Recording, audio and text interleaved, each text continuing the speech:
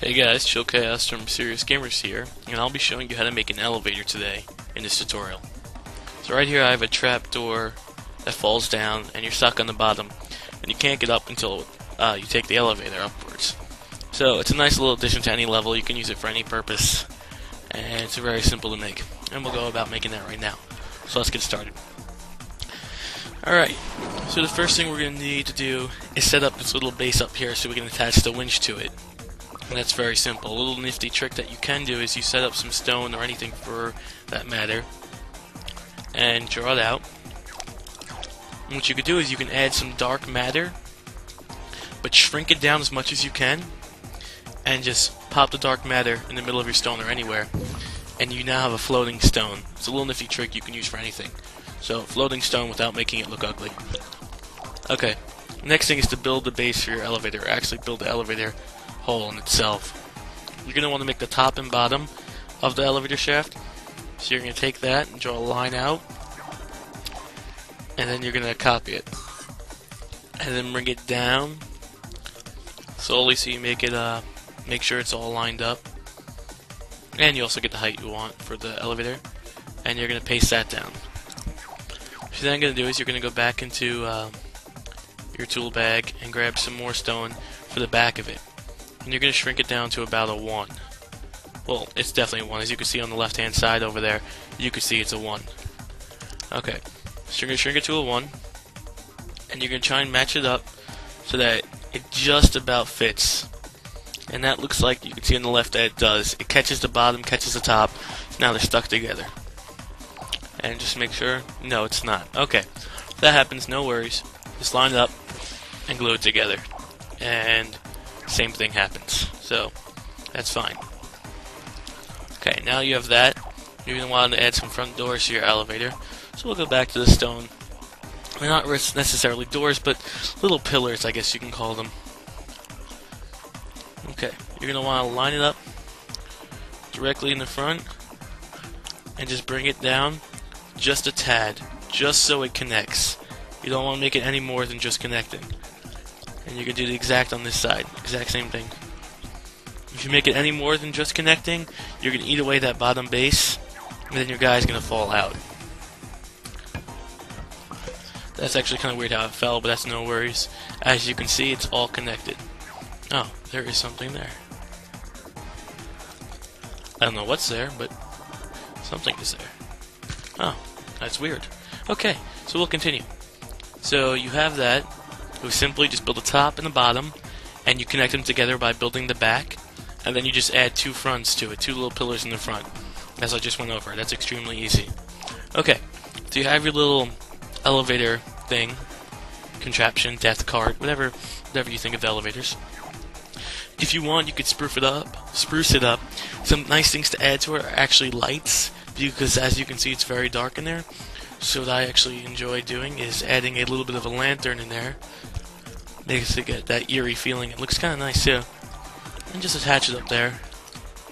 And if you want, you could take uh, some more wood or anything, for example. Uh, we'll take the uh, basic polyester, polyester, yes. And shrink that down to make it completely flat. And put it in the front area. And just draw a little line over it That looks nice. Actually, my mistake. You're gonna make sure when you put the lamp in that you uh, have it so it's set up a couple back. That way it's not right in the front, so when you want to block it off and cover it so it looks more like it's a lamp in there, it's back a few. So my apologies to that.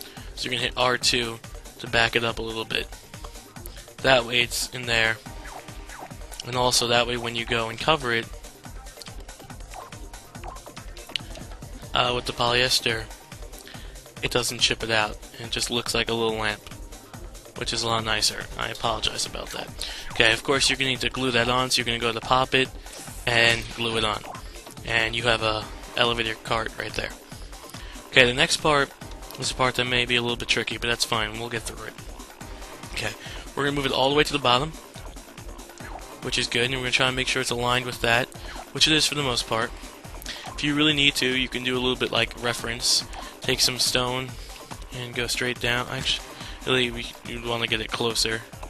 Take some stone, move it straight down, and that way you know where you have to go according to it. So we'd have to move this over a little bit. And that way, now it's directly under it. And then you can delete that stone. That just makes sure when it goes up and down, it's not all wobbly and such. So, we'll go there, and we'll go to the, uh, the piston, which we're going to need for this.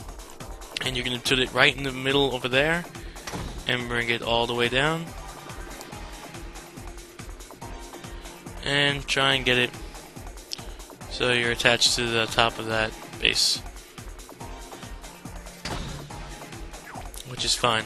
If it's not centered after you attach it, you can always swing it over and try and make it centered. Which is fine. Okay, you're then going to hit the B on the, the uh, square and go to tweak. And you're going to go to is it stiff? And you're going to be like, yes, it is stiff. Okay, you then want the minimum length to be extremely uh, small numerical value we're probably going to set it at close to 1, um, just so it goes all the way up top. And you want to leave the maximum length what it is, because that means whatever it took to hit the ground. That's the preset for it. So we'll leave it at that, and as stiff as fine. And as you can see, it should go up and down. Yes, accordingly. Okay, now for the idea if you want it to be automated. You have an elevator there, and of course you can always just let it go up and down, and you can always try and catch it as it comes up and down, but that's no fun. Okay, what I suggest doing is pausing time, and first off setting the elevator settings to 7 seconds for the timing. You don't need a pause, but 7 seconds works fine. It takes just enough time, just a, uh, a little bit of time for it to actually work complete. Okay, what you're then going to do is when it hits the bottom, or actually at any time, you're going to pause it, and you're going to go into your tools, and you're going to want to grab the sensor switch right there. Oh, oh, the sensor switch. And you're going to shrink it a little bit so it doesn't look too cluttered, and you're going to attach it to that back wall. You're then going to go to the pop-it menu, and bring it straight up and attach it to that. Now this should not move unless that's triggered, which is good, it's not moving. We're then going to go tweak the sensor switch and set it to direction, which is fine. Now, as you can see right here, the way it is right now, direction would have it so it's up top if no one's in it. We don't want that, so we have to go to inverted, which means it will be on the bottom if no one's in it, which is good, because if it's on the bottom, no one's in it, when we get in, it will bring us up, which is exactly what we want. And we're going to set the trigger radius to just the elevator. Okay, so right there, that's your elevator. You can then jump in it, and once you get it, it takes you up, and it stops once it hits the uh, whatever prede predetermined set uh, you had for the piston, and it won't go back down unless you get out, which is fine. Uh, you can do a couple of things to spruce it up, I guess. Uh, one thing I did on mine was just to add some polyester right here to sort of like make it look like a keypad, which is always nice, I guess, visually appealing and looks like a little keypad. You can add some stickers to it. Um, and that's pretty much how you make an elevator in Little Big Planet. I hope this tutorial helps you, and if you have ideas or suggestions for another video, please let me know, and I'll be glad to take a look at it and hopefully help out.